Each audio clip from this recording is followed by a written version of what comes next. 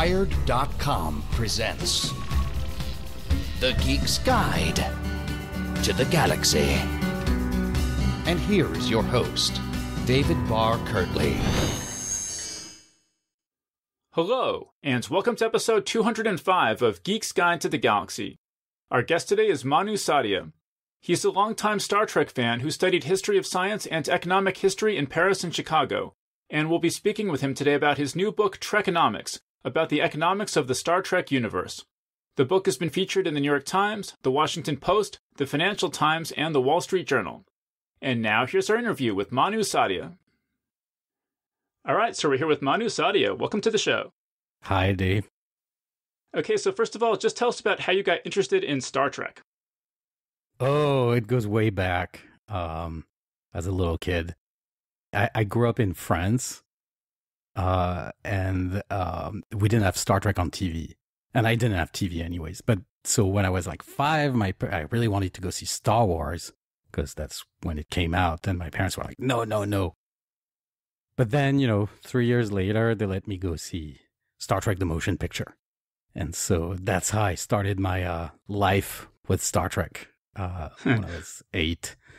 Um, and and you know, and and my parents were very happy because it, there was no war like in Star Wars, so they thought it was educational on some level, Hmm. and that got me, you know, reading a lot of science fiction as a result because that's really the only thing I could do to uh, prolong the experience and to you know continue to live in the future a little bit as a kid.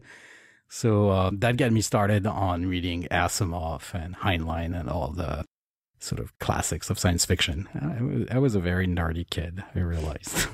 So- and of course, it didn't get better because, you know, I, I was a nerdy kid and now I'm a nerdy father. So, well, I thought it was interesting because you, you kind of make it sound like your parents thought that science fiction was going to rot your brain. And they let you go see the Star Trek motion picture because you had kind of a family friend who talked them into it.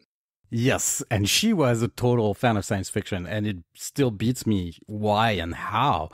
Um, I mean, it's not it, it's not just because of the way the French educational system is set up, where you know you're supposed to read all your classics and learn them by heart and all that. But that was, I mean, if you remember, and if if you try to transport yourself back to the late seventies, early eighties, science fiction was kind of a marginal genre.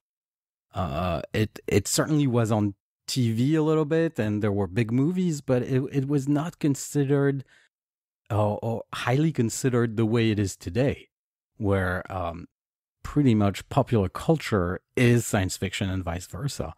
Um, it it was it was a very it, it was something that was not encouraged or even known, I would say. Uh, and especially, you know, in France and in translation and all that, even though everything was translated, but it was a very, very niche. And so it was a little bit odd. Uh, I would, you know, bring my science fiction books to school and I was reading that. And it was just not my, not only my parents, but teachers were like, what are you doing? Um, so, you know, um, yeah, I, I, I would say I learned a, a lot more reading science fiction than anything else. Well, right, and say a little bit more about why Star Trek appealed to you so much. You say in the book that when you saw Star Trek the motion picture, you say, This is the place I'd been looking for, this is where I belonged. Yeah, I I was trying to uh, uh, remind myself while writing this of of how it felt like, and it's true that I felt somewhat alienated as a kid, but I guess it's it's a very uh, common experience, uh, and the particulars of my situation were such that maybe I felt a little more alienated than other kids. Um, my father came from Israel to France. I'm I'm I'm sort of a uh, a mutt uh and and and it's not that i did not fit in the culture. I mean i i was french. I'm french. I'm french and american i guess. Um but i was not entirely part of it uh just because of um, my father's origins. Um and so in a way this sort of future and and speculative world where these type of things did not matter where you come from how you look like you know the, the color of your skin or um, your name or your uh, ancestors' culture uh, seemed to be, in Star Trek at least, seemed to be um, something that did not matter the way it mattered uh, in France in the late 70s and early 80s. Okay, well, so say a little bit about why did you get, or how did you get the idea to write a book about the economics of Star Trek? Um, so this, this is a funny thing. I, I studied a lot of economic history and it was something, you know, we were discussing with friends while watching Star Trek, you know, in grad school. And so it, it, it had been bouncing around my head for a long time. And then um I I I met this guy who used to work on Star Trek. Um and we sort of had several beers and you know he's, he's he used to write for Star Trek Enterprise. His name is Chris Black and uh, you know he's a fan of the show as well, uh, and a scholar of the show, and and we're shooting the breeze, and it's like you know I was like, so what's missing? I'm looking for a book on the economics of Star Trek. Does it exist? And we looked through his books and all that, and he was like, oh no, like, you should do it, and so I did. Um, and originally, and I, w- I would say the the main impetus of the book was like this was the book I really wanted to read, uh, and I couldn't find anywhere. So I, I sort of proceeded to do it. Um, and there it is. And you talk about how there seem to be a lot of economists who are kind of interested in science fiction. You mentioned Paul Krugman and Brad DeLong. Uh, yeah, it, it's it's kind of hilarious uh, uh, um, that uh, the the the sort of interest I I the book got or received from you know academic professional economists is is surprising. Um, I would mention Joshua Gans as well uh, at the University of Toronto. I mean, it's and and random uh, other colleagues of my wife's who are economists. I'm like, oh yeah, I'm a total Star Trek fan. I'm like, what? What's going on here? Um, and so it's it's something that kind of baffled me, and I try to figure out why. And I have no good explanation except maybe that science fiction and economy, are, uh, economics are are come from the same place so the industrial revolution and and maybe they're also interested in very similar things similar things uh, the future. And obviously economics deals with the future with models and um, data and and and mathematical formulas whereas science fiction is, more loose in that sense uh, but they're interested in the same thing essentially uh, the the act of extrapolating um, empirical observation about the present and trying to figure out where it's going. And so I think it makes sense that economists, um, in their practice and in their um, everyday uh, search for uh, uh, identifiers and, and signs of change, uh, would be interested in how science fiction does it. It's, it's a way to think out of the box almost. Yeah, yeah. Well, and I mean, the book is primarily concerned with this idea that in the Star Trek future, there's no money. Um, yes. and you talk a lot in the book about how this idea developed. Could you talk a little bit about that? Um, so in the show itself, um, if you remember, and if you're like the uber nerd of Star Trek, there is some kind of money uh, in the original series. They're they're called Federation credits. Um, and if you remember the the famous Tribbles episode, um, it's all about a trading post somewhere in space where um, Captain Kirk and the Enterprise have to uh, figure out a trade dispute. Trade disputes. It's it's it's a trope of science fiction. Um, so there is money in the original series. Uh, it's not at the forefront and it's not really the focus of the show and it's not really something that matters the way it matters later in the next generation but there's money. And then there is this famous scene and very funny scene and the funniest of all the star trek movies but also the greatest i think uh, uh the voyage home you know the the whales movie uh, where captain kirk uh, goes to dinner with um, the scientist who's in charge of the whales and and she's like oh and and you want me to pay? And I, am paraphrasing and he's like yeah because we don't have money in the 23rd century. So and of course they don't. Um, and from then on star trek becomes very utopian in that respect. Um, and then you know in the next generation then it's it's it's made clear and emphasized several times in the in the course of the show that the Federation does not have money, and and in the 21st century we moved past.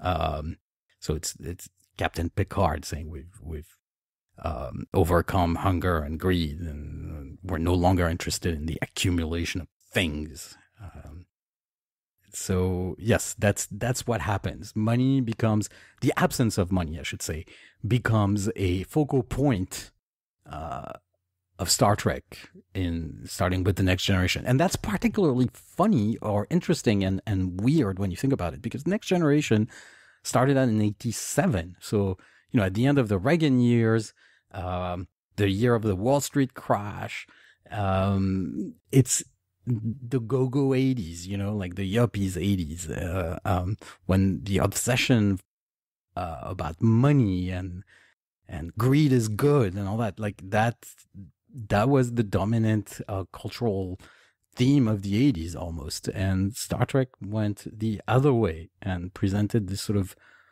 it's not a sort of it's presented very aggressively a utopian world where money and greed and hunger and the competition for the acquisition of goods uh, was no longer the focus of life and, and that's very strange and, and very um, groundbreaking and, and I think that's one of the concerns of the book is trying to address uh, that, and it's also groundbreaking in the field in the realm of science fiction in the genre because there are not that many science fiction universes that um, take money seriously that way, or its absence, I should say.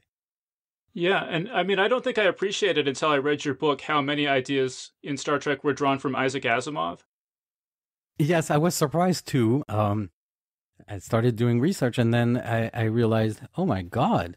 Um, first of all, you have like the, the fact that Asimov and Roddenberry became friends. In, in Gene Roddenberry, the creator of Star Trek, became friends in the course of the development of the first series, and then later on, Isaac Asimov is credited as scientific advisor on the motion picture, uh, so the first Star Trek movie but also it's his ideas that that shine through. Um, the notion that human labor will be entirely replaced by automated machines. Uh, this is Asimov's greatest, I think, greatest invention alongside uh, psychohistory and foundation, but separate discussion. Hmm.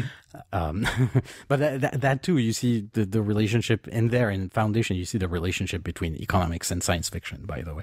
Um, but Asimov, so in 1941, he publishes his first story about robots. He invents the term robotics, and his great idea and insight is that the robots are not going to be our enemy or our enemies or our doom as a society, the way, you know, usually robots were portrayed as Frankensteins, you know. And the robots will will liberate us. And so Asimov is trying to figure out a world where labor, human labor, is no longer um, necessary for survival.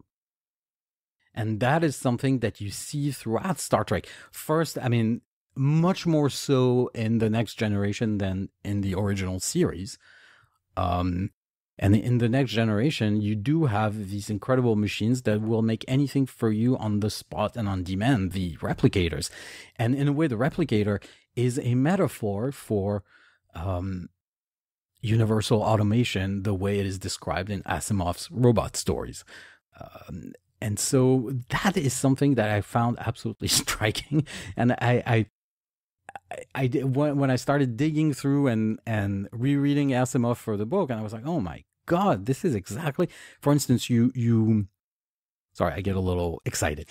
uh, uh he wrote so so he started out with um, short stories in the pulps, and then he wrote several novels that um, had a robot character called Daneel. Daneel, I, I never knew how to pronounce it, but this was a android uh, robot. So that's in 54. It's uh, um, uh, The Naked Sun uh, and The Caves of Steel. And this android robot comes from um, a society. So Earth is isolated, and you have the Spacers world where uh, robots uh, maintain society and are, in fact, uh, uh, the basis of the economy of the Spacers world. And the Spacers world, as described by Asimov in his novels, are exactly what the Federation is like, um, where the uh, inhabitants of the Spacers world the worlds uh, live a life of leisure and free inquiry and art and science rather than uh, toiling uh, for survival the way Earthers do. So that's the main conflict in those novels. But you can see in there the embryo of um, the questions that Star Trek later raised. And then you do have also the fact that Asimov, who was a sort of a I don't want to say a blowhard, but a little bit of that, um, claimed that he had invented Mr. Spock because the the um, the character of that android robot in Caves of Steel and The Naked Sun, so in the mid fifties, um, it has a lot of similarities with the Mr. Spock that appeared on screen uh, in the late sixties.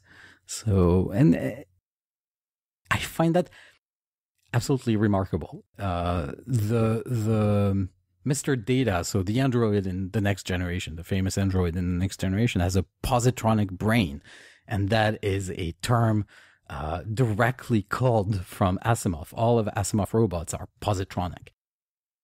Yeah, well, well so so so walk us through this optimistic Star Trek future. I mean, how how does it work, and how workable do you think it is? um, it's the big question, right? Uh, the the first thing to say is that Star Trek Society, as described uh, in the TV show, even more so than in the movies, um, is incredibly wealthy, uh, and it's incredibly wealthy because, on the one hand, automation uh, and and advances in energy production make it possible to have such an abundance or overabundance of things. Um, it is so wealthy, in fact, that uh, the I would say the price of things has converged to zero because anything is available on demand uh, very easily. So that's one thing. The, the second thing is Star Trek Society values um, knowledge above all else because that is really where you can compete and you can um, prove yourself and prove your worth. Uh, the there are so many things, and everything is so readily available that it makes no longer any sense to compete for a big bank account. What what really makes sense in in the Star Trek universe and Star Trek society is to compete for reputation because this is really where you can distinguish yourself. Um, what is not abundant in Star Trek's universe is the captain's chair. I mean, this is what we see on the show is the the overachievers, the people who really make it to the top, uh, and who who uh, spend their lives trying to be good officers in Starfleet or the best scientist in the galaxy. That's what we see in Star Trek. So you have this economy of reputation, I call it.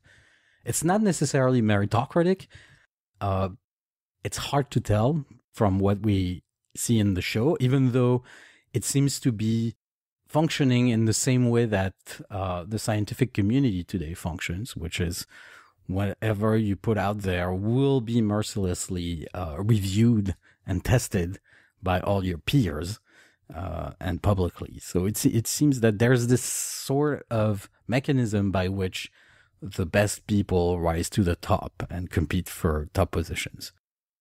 And then the corollary of that is that because Star Trek's Federation is so wealthy and satiated, it doesn't really need to conquer other worlds. And it does not really need to be an imperial force in the galaxy.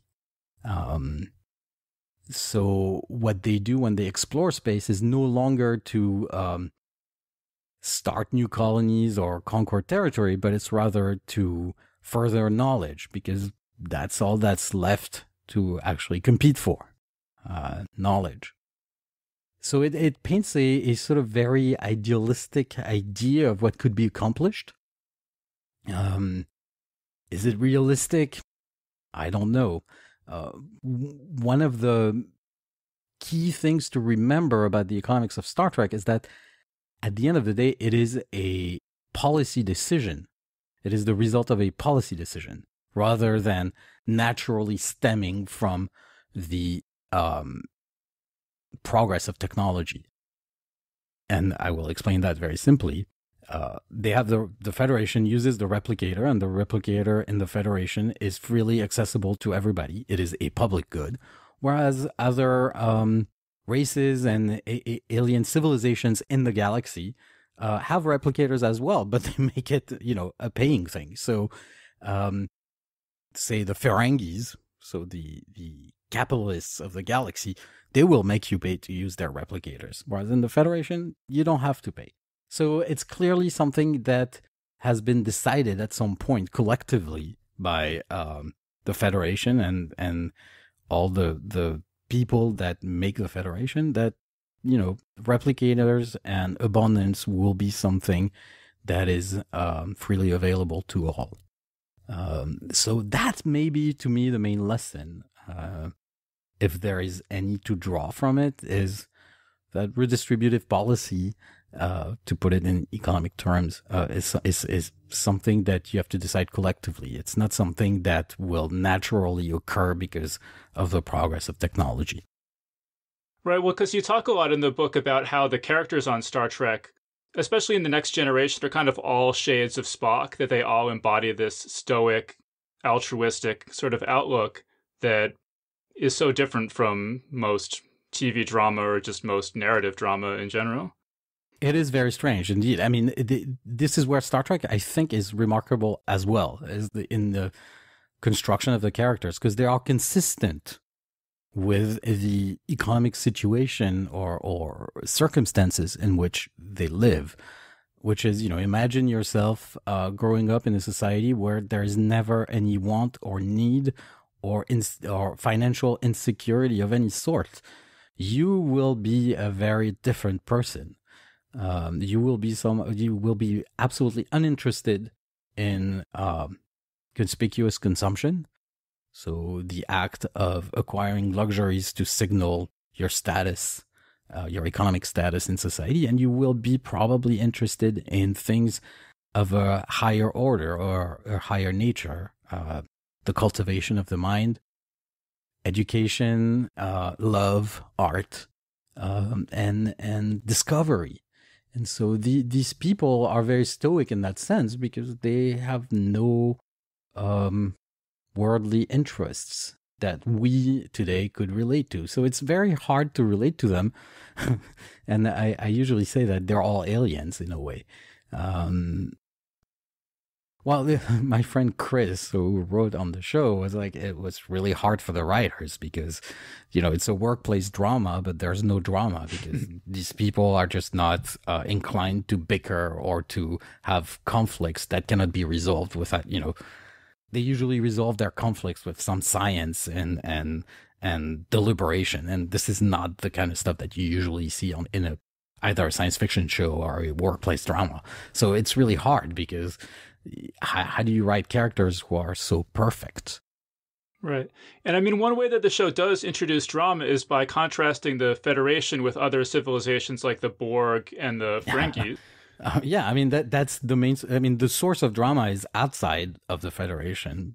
Mostly, it's the aliens, and and there, you know, you you have all these gallery of, of strange people who have uh, uh, who seem to be interested in uh, the same things as we are today.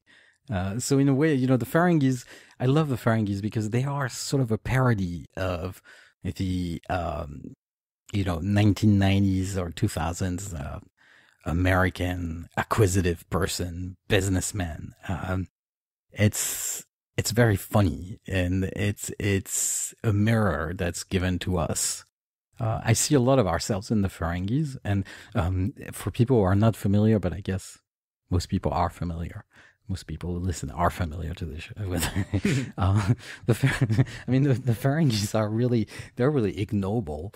I mean, they're they're really awful people, uh, and they're really funny as a result. Uh, but they do change over time when when you watch the whole arc of the Ferengis in Deep Space Nine. The Ferengis, just by contact with the Federation, they become more like the Federation. They become, you know, uh, Keynesian social democrats at the end. Like suddenly, you know, you have the right to have a uh, to have unions and strikes, and uh, there's like healthcare for everybody, and uh, you know, it it it's amazing. I mean that that is the main lesson there. Uh, that you know, but just by contact and almost osmosis, uh, you, you, you can become a better society and a more rational society.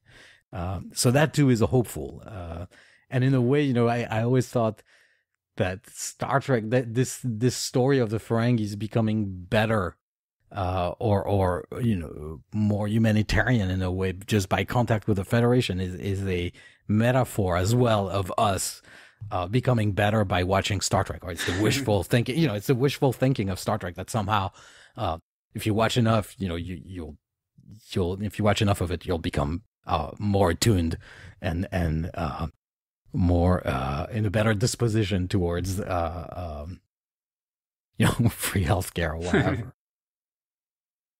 Well, I thought it was interesting because you have the Ferengis on one hand, but then you have the Borg on the other hand, who kind of represents the dark the dark side of this communitarian redistributive yes. system. That's that's the thing about the Borg. In in the end, the Borg they are such a great villain because they're so similar to the Federation.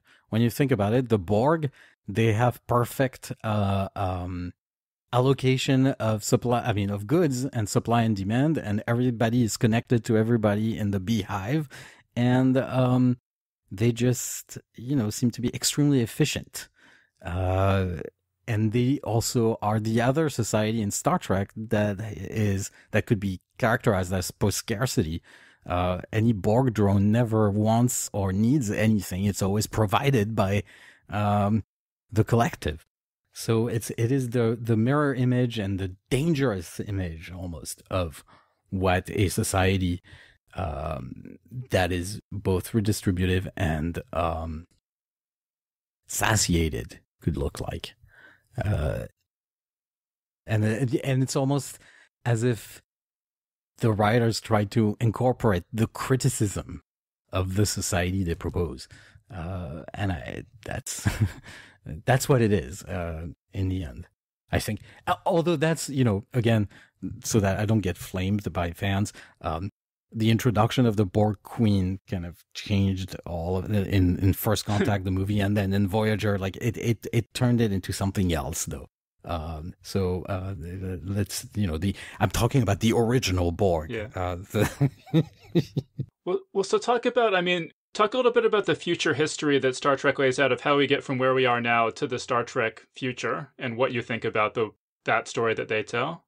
So there is in Deep Space Nine. There's a two-part episode where Captain Sisko and his crew go back to San Francisco in the middle of the 21st century, and the society that is described then is one where poor people are basically outside of the core of the city. You know, it's walled off, and um, they they can only go in to work during the day, and then at night they go back outside and you know live in squalor. Whereas a um, an elite uh, group of people lived a good life. Uh, and it's eerily similar to you know the kind of situation we're in today.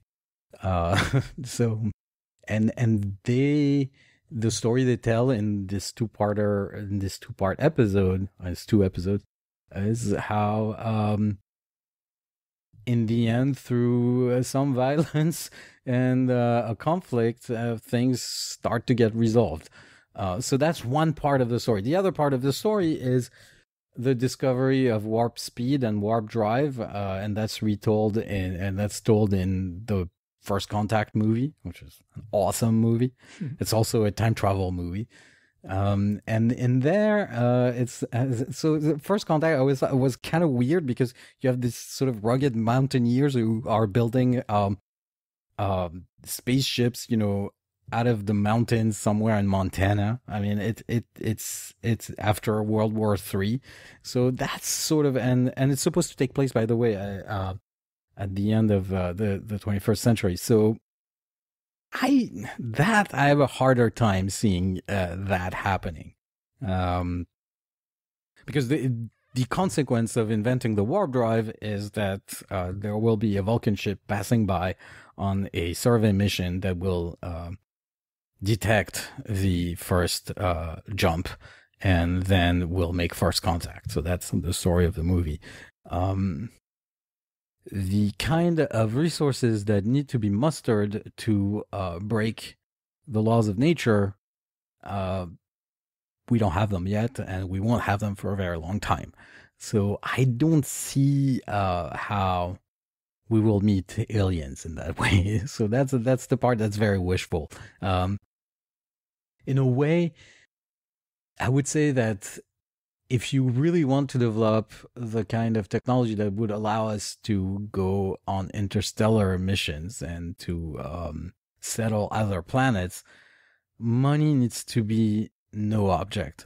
Like we need to achieve such a level of wealth as a society that we could actually decide to spend these resources on building uh, generation ships or you know faster than light travel.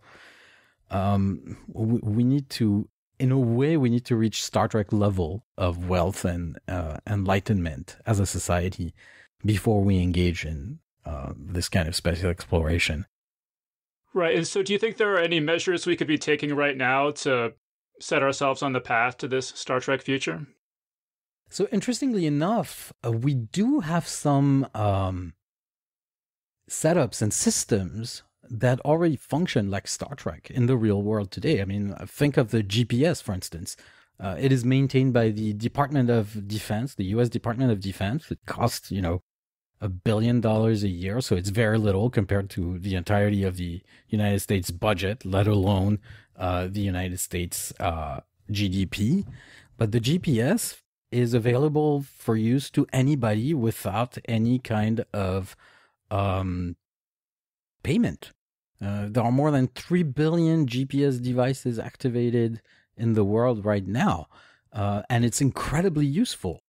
And it's totally free. And it's provided as a public good. So this is one of these things that um, seem to mirror the type of ethos that you find in Star Trek. Um, the internet is another one.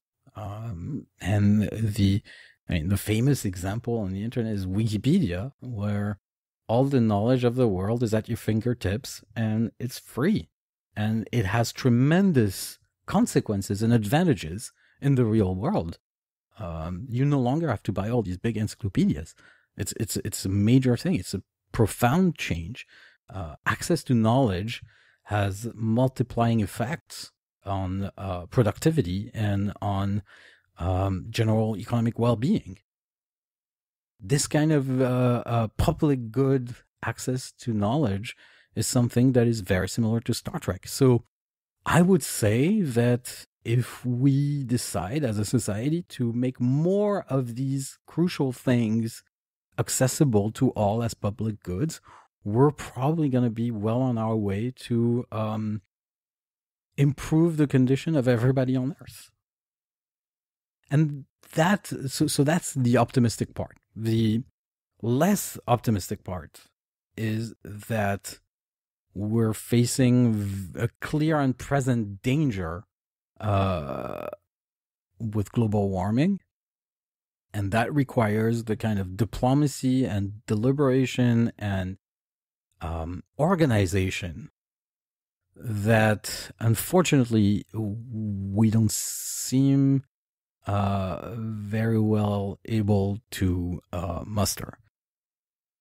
So these are these two things. The the third thing I would say is addressed by Star Trek. It's the core of Star Trek and Asimov in a way. It's the ro- robots and automation, and the fact that technology is going so fast that we are going to be able to automate most stack, uh, most most tasks, um, and, you know, in, in, a short period of time. Um, I was reading yesterday about um, this expert system that, that, that has been hired by a, a, law firm.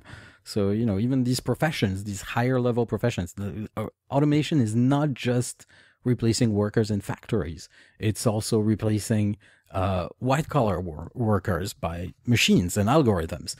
Um, and that also uh, raises the question of suddenly, you know, we are going to get much wealthier as a society as a result of automation, but the fruits of um, these improvements might not be uh, shared equally among people. Um, that is these are questions that Star Trek um, really elides. I mean, we you see the end of that process in Star Trek. You're on the other side of the mountain. Uh, the problems have been, have been solved. Uh, it it does not give us much in the way of you know ten step program to how to get there. Uh, that I think is our task to actually figure out. Right. So it seems like, you know, this the the status quo is disappearing quickly and we're either going to end up like the Ferengis or the Federation and yes. the degree to which we can become altruistic and generous as a society is going to determine which path we take. Would you say that's accurate? Yeah, I mean it's it's certainly true, um, and also it will take a lot of political organization. Um, the, this this is not something that will happen all on its own. I mean, you do have a lot of uh, people in in the uh, you know Silicon Valley and the tech industry who are talking a big game about um, singularity and and all that. I I don't understand what they're talking about. The, at the end of the day, technology all on its own cannot make the world better.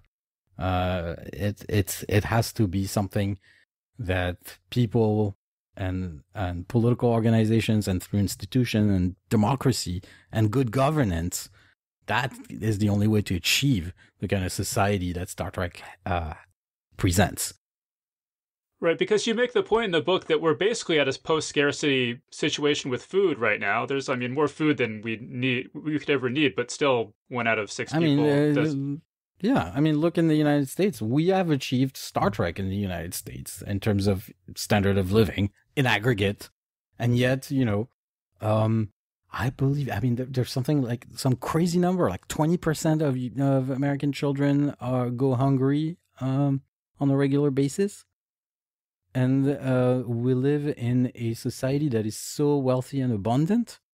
So it's clearly not a problem of making more stuff uh, at a cheaper price. It's it's a it's definitely a, a matter of politics and policy. Uh, it is not something. I mean,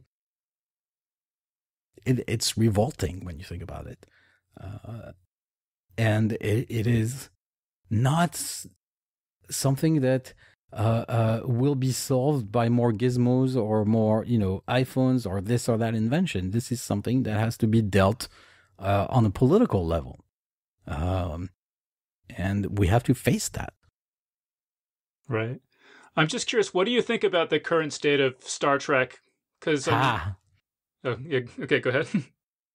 oh, the oh oh, um, they just released the new um well, first of all, I don't want to say anything bad about the J.J. Abrams movies. Um, they're fine. And movies are different from TV series. In a movie, you, you, you have to cater to a different audience. In a TV series, you have much more time to actually describe a world and build it. So it's a different thing. I'm very excited about the new series personally. So it will come out in January 2017 on the online platform built by CBS. So it's going to be an online only thing and you will have to subscribe. Um, and I'm very excited. Uh, the people who are running that new show are just uh, uh, uh Bryan Fuller, who used to work on Star Trek, um, and then went on to do several other shows, including Hannibal. And then they recruited Nicholas Meyer, who, uh, among other things, is the guy who wrote and directed uh, Star Trek II: The Wrath of Khan and the the Voyage Home, so the Wells movie and the Undiscovered Country. So he really is the guy who made uh, uh, Star Trek into a viable movie franchise, uh, and he has a deep understanding and love for the show and for uh, the universe itself. And you could not hope for better people to actually be in charge of this.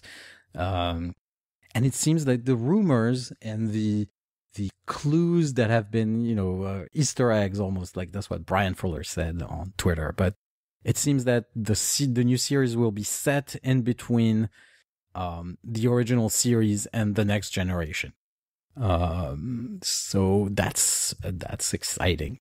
Uh, that's very exciting. I I I can barely contain myself. I mean, is there anything in terms of economics that you're hoping to see in the new series? Um, yes, but somehow, I mean, Nicholas Meyer, when he was directing the movies and he, he had all these um, debates and, and arguments with Gene Roddenberry, who could not, you know, Gene Roddenberry at the time was like, was not allowed to touch the movies because he had messed up with the motion picture. Um, and Nicholas Meyer, in his memoirs, uh, recalls how he thought Roddenberry was full of um, full of it, uh, full of it, in terms of how humans would behave in the future. Uh, so, so there was a clash right there, a clash of vision and a clash of um, positions as to what humanity could be or could become. Uh, so I expect that there will be some of that tension in the new series and that the characters will be more relatable to us today. Uh, it might not be the full on crazy utopian vibe of the next generation.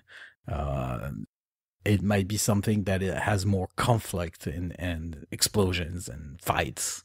Um, so, you know, it's, it's good in itself as well. Like it's entertainment is is part of the game, and uh, I want to be entertained. Um, so I'm very excited for that. But I don't think you know they will really uh, lay it on thick uh, on the utopian economics the way Gene Roddenberry did for Next Generation. See, I'm really intrigued by the utopian aspects because I feel like if you took someone from 1600s Europe or something our society, like people today, would be unimaginably nice. Uh, yes, compared compared to anything they could have ever imagined. yes, they'd be tall. They'd be in very good health. Uh, they'd be very well fed, and um, they'd have much better manners. Uh, it, it, would be un- incomprehensible. Um, yeah, I mean, it's a, it's a good thought experiment. Uh, give uh, a book about today, you know, give a book written today to somebody in the 16th century and they'd be like what is this? These are aliens. These are uh, this is this is not possible. This is never going to happen. Uh, how is that even imaginable? And there's some of that in star trek as well i would say. Right? I mean it's it's that's the that's the part that makes sense to me. And by the way we say utopian but i don't think in terms of purely on the basis of economics i don't think it's crazy. Um, if we continue on our path, on our current path to, um, you know, growth and productivity gains and, and economic growth, just by the magic of compounding, in 300 years, we'll, we'll be like 12 times more wealthy or something like that. I mean, I have the numbers in the book and it depends which multiplier you use. So it's complicated.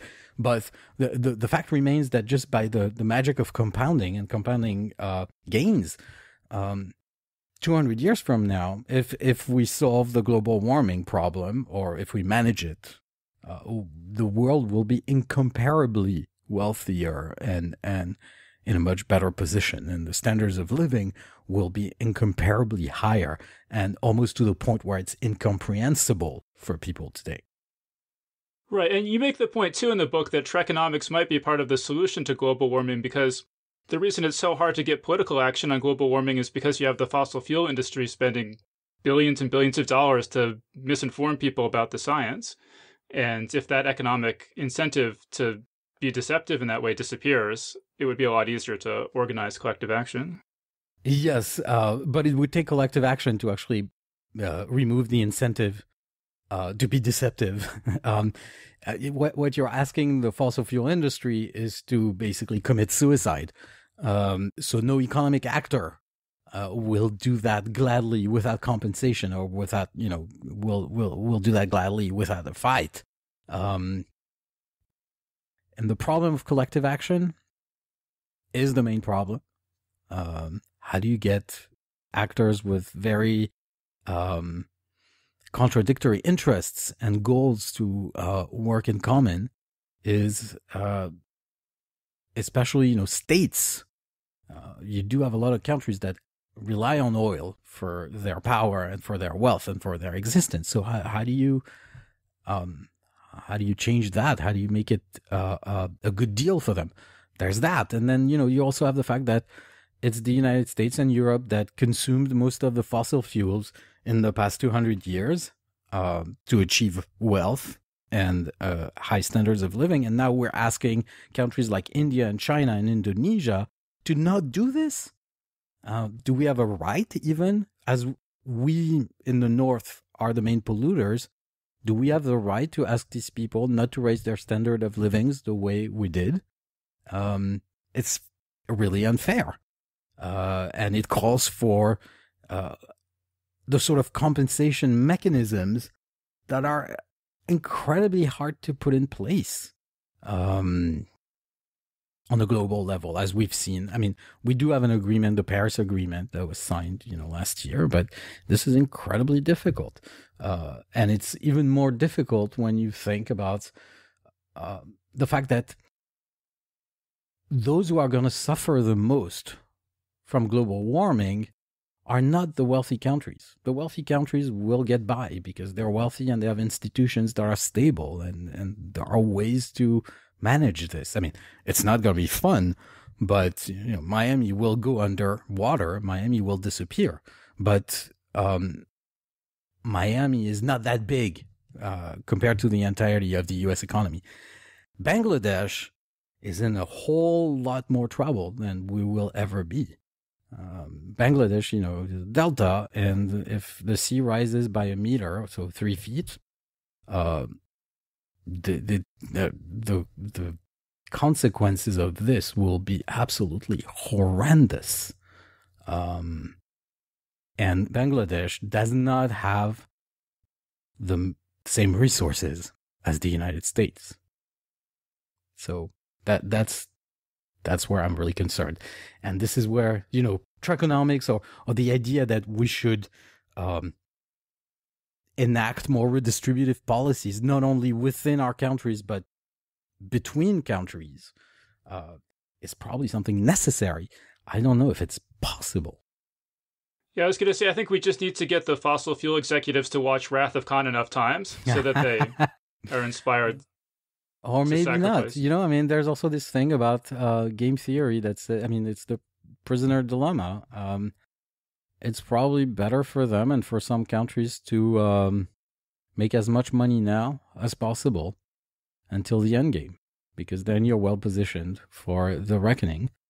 Um, so that that is something that uh, I find very foreboding, and um, yeah, I mean, you know, it, it's it's this is where Star Trek would help, but I don't know if um, altruism uh, would stand in the face of uh, economic rationality.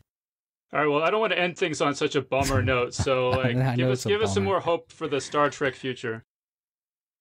Well, uh, the the spread of knowledge, and actually this may be where we might make it is that the spread of knowledge, thanks to the internet, um, is able to move mountains. Uh, the free flow of information. The, the last time we had this, such an explosion in the free flow of information um, and in the sharing of knowledge. So, with the invention of the printing press, it led to incredible improvements in society and transformation in the way people related to each other. Um, the Reformation and then, you know, later on the political revolutions in Europe are direct uh, consequences of the invention of the printing press.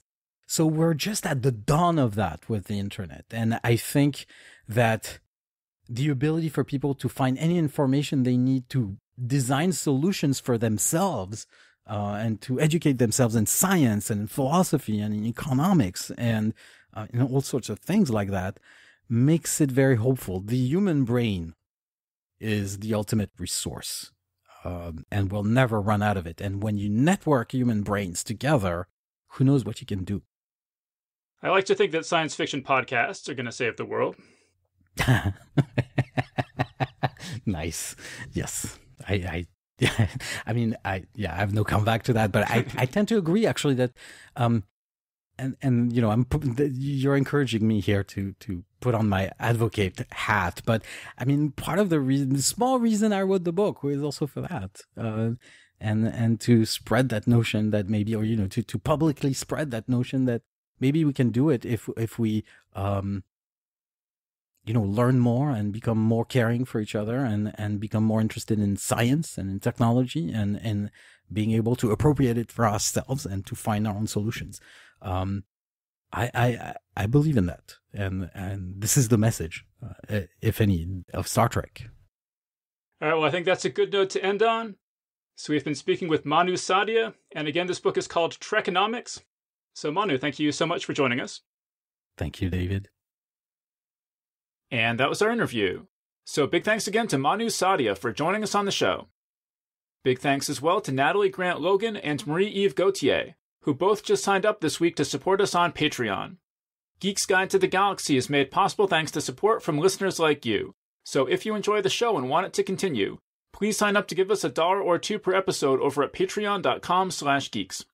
And if you'd rather make a one-time or fixed monthly contribution, you can do that via PayPal over at geeksguideshow.com slash crowdfunding.